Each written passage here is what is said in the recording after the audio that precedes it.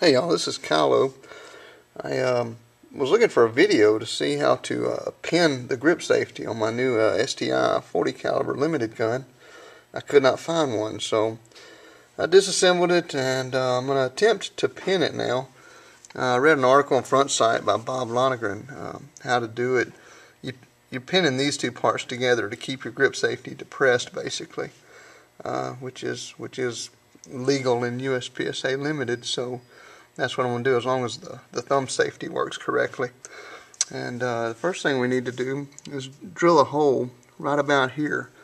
I'm going to mark that and I'll uh, go over to the drill press then. Okay, I've got the mainspring housing set up on the drill press and per uh, Bob Lonergan's article I'm going to uh, drill a half inch into the mainspring housing and I'll be back filming as soon as I'm done. Okay, I got everything set up, so uh, maybe I can film it and do it at the same time. Uh, give it a go.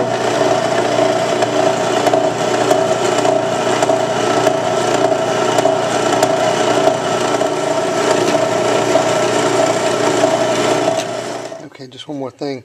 When you when you drill this hole in here, you you really want it to be parallel with the way the mainspring housing slides into the gun if your pin is sticking out all crooked, you're not gonna you're not gonna be able to slide it straight into the hole that you're going to drill into this piece here, and it'll be entering at some kind of funny angle. So, so that's that's also something to think about. Okay, the only thing I'm going to do different uh, from what the article said was I don't have a roll pin, so I'm going to sacrifice uh, one of these 1 16th inch drill bits, and uh, just make sure it fits in there snug. And I'm going to cut it off so that it, it sticks out uh, one quarter inch from the hole that I drilled in the mainspring housing.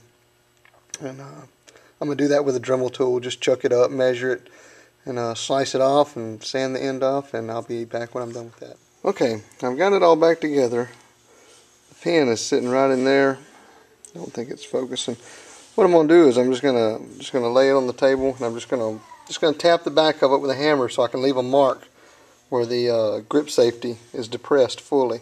I'm going to hold it down tight, and that's where I'm going to drill my hole where the pin will go in. Alright, I'm going to I'm gonna do that. Okay, I finished drilling the hole in the uh, back of the grip safety. You can see it right there.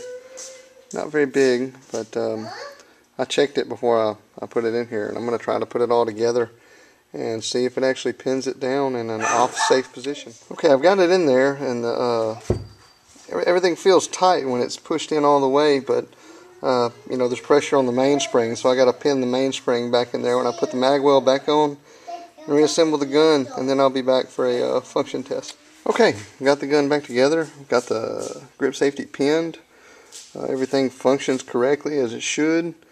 I'm going to do a uh, do a live fire function test just to just to verify, but that's that's how you do it. Hope you all enjoyed it.